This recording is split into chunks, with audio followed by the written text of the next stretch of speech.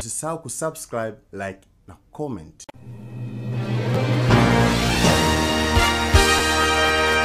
Inakunjua jamvi la kipindi cha vijana mchaka mchaka. Nipo Nyankumbo, wilaya na mkoa wa Geita. Nimefika hapa kuzungumza na vijana wanaoishi katika eneo hili, lakini pia kubaini shughuli wanazofanya, na mara nyingi vijana wamekuwa kitamani vitu vya juu kuliko uwezo wao. Karibu fuatane nami, jina langu naitwa Kasimilian nimbasa hadi mwisho wa kipindi hiki. Naitwa Benedicto Julius. Wewe ni mkazi wa wapi? Mimi ni mkazi wa Geita mtaa wa Nyankumbu.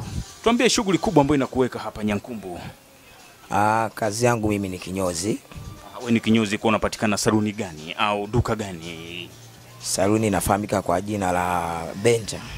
Ah, Vitu vikubwa vinavyopatikana Benja Saluni ni vitu gani? Ah, kama usafi, kila kitu kilichomo mu usafi na nini, na wateja jinsi unavyowashika vizuri ndivyo wanavyopatikana kwa kivu. Umesema Benja Saluni, lakini hujabainisha ni saluni ya kike ya kiume pengine? Ah, hii ni saluni ya kiume. ya kiume na mara nyingi imekuwa ikikusanya kusanya hata watoto wa kike pia. Ah, watoto wa kike sio sana, Mm. wengi wao ni wanaume. Mara nyingi nyinyi vinyozi, kumekuwa na rumors zikiendelea kwamba watoto wa kike wakiwafikia mnaonyoa bure. Hii kwenu ikoje? Ah, hii sio kweli, labda kwa wengine, lakini kwa hapa naona si kweli. Vijana wengi wa Kitanzania wamekuwa wakitamani maisha ya hali ya juu kuliko uwezo wao, na pengine hata hawana kazi. Kwako wewe hili unalizungumziaje? Ah, kwa jinsi mimi ninavyoona wangejituma tu wakajiajiri kama jinsi tunavyoona wakalizika na kazi wanaopata na kipato wanachopata kuliko kutamani tamani vitu vingine vikaingiza kwenye matatizo. Lakini changamoto ambazo zinawakabili vijana hususan kupata pesa na kazi, hili kwako unalizungumziaje wewe? Kwa jinsi ninavyoona labda kukosa ajira kwa vijana. Unafikiri hili linachangiwa na nini? Ah, hili linachangiwa na kukosa ajira. Hii ajira, wewe sasa hivi unasema uko saluni hapa, kwa hiyo umeajiriwa? Ya, nimeajiriwa. Na pengine toa wito wako na uambie vijana kwamba hata kazi ya saluni pia inaweza ikakupatia maendeleo kwa kadri unavyoifanya. Ah, kwa jinsi ninavyowashauri vijana, kazi yoyote utakayoajiriwa inabidi usimamie kama jinsi inavyotakiwa. Jina langu mimi naitwa Musa Kazimiri. Naona pia unapiga piga design fulani kichwani, huku nywele zingine zimebakia. Hii ni style gani? Ni mtindo tu wa kuweka kichwa katika hali ya randia au mtindo pia unakufanya uwe nakshi, hata madadas pia wavutiwe. Hii imekuwa ni kweli kwako? amna, hiyo sio kweli, isipokuwa ni, ni mnyoto ambao unakuwepo umejiwekea kulingana na jinsi ambavyo labda kichwa chako kilivyo. Vijana wengi utamani maisha ya hali ya juu, angali maisha yao ni duni. Unafikiri hizi akili zinaweza zikawasogeza? Ah, hilo hamna, isipokuwa labda cha kuambia labda ni kustruggle tu, kupambana, Tufanye nini? Vijana wengi wamekuwa wakilalamika ajira haipatikani. tufanye kazi, inasha kusubiria ajira. Labda kwa mfano kama kazi gani? Kwa sababu kila kazi watu wanasema wanatakiwa waajiriwe.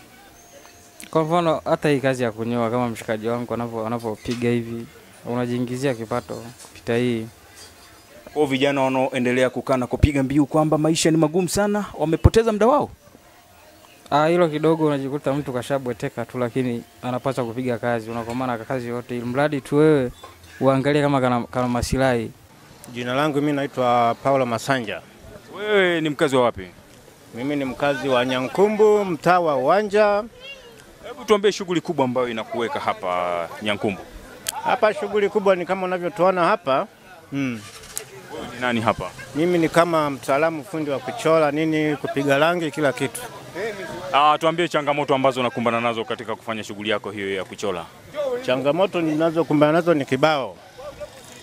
Unaweza kwa mfano, unaweza ukapiga rangi, lakini mteja akawa ni mgumu wa kutoa hela, akakuacha kwenye mataka kata kona, siku zikapita kama ngapi ngapi, ndo anajia kifaa chake. Lakini watu wengi wamekuwa wakilalamika kutokana na kazi zao wanazozifanya, ila hawafanyi ubunifu. Wewe kwako hili unalizungumziaje? Kwenye ubunifu, kwenye ubunifu, mi napenda vijana wafike hapa ofisini waone jinsi tunavyofanya, alafu ndo tunaweza tukachukua majukumu, hata kama ni kuwafanyia process, tunaungana kikazi, mambo yanaenda mdogo mdogo. Katika kufanya shughuli hii ya uchoraji, pengine una muda gani nayo? Hii kazi nina muda nayo mrefu toka mwaka 82. Na mafanikio gani ambayo umeyafikia mpaka sasa? Mafanikio hapo kibao, kama unavyoona hivi, tumeshapata viwanja, tumefanyaje, tumejenga Kwa jina naitwa Nikolausi Mshanete. Wewe ni mkazi wa wapi?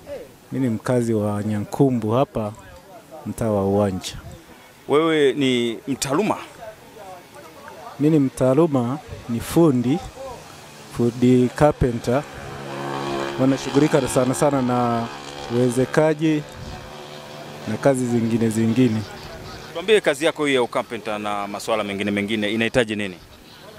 Kazi ya ukapenta inahitaji vitu vingi. Kwa mfano, inahitaji vitu tuseme, tuseme tu vifaa. Vifaa vinatakiwa viwepo ninapohitaji ili nifanyie kazi. Maisha ya ushindani huenda sambamba na ubunifu. Pengine katika shughuli yako hiyo umebuni nini ili kufikia changamoto ya maisha na kukabiliana nayo?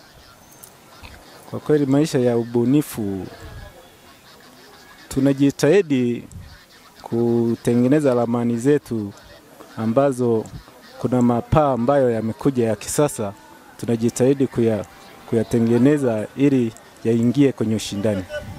Unatoa wito gani kwa jamii? Wito wangu na, naomba tu vijana wote tujitahidi kukabiliana na hali ya maisha. Sufu Kalabile Mhonja, mkazi wa Nyankumbu. Tuambie shughuli yako kubwa hapa Nyankumbu. Shughuli yangu kubwa kabisa hapa ni ufugaji, ujasiriamali. Tuambie sasa, katika ufugaji huo kuna changamoto gani ambazo unakabiliana nazo? Changamoto zipo, nakuta sa- labda nani hiyo kazi yako nayo huduma ya kuwahudumia wale unaohudumia, kama mimi ni mfugaji wa nguruwe, nasika se- se- sehemu moja tena inakuwa na changamoto kubwa sana sana, ni madawa, chakula. Vijana wengi wamekuwa wakilalamika maisha magumu, lakini wakiwa katika nafasi zao hawafanyi ubunifu wa aina yoyote.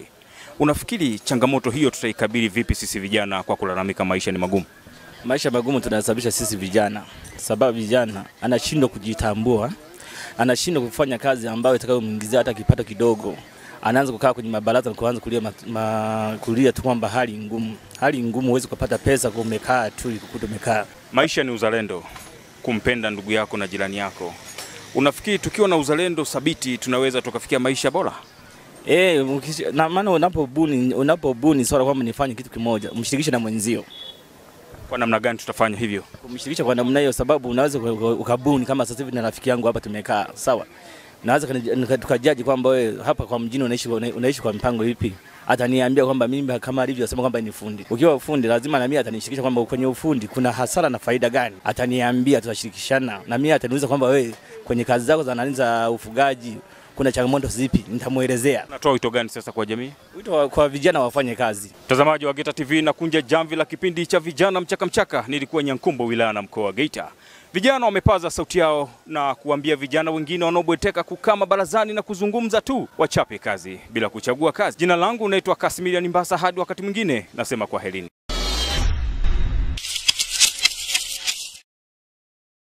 Usisahau kusubscribe, like na comment.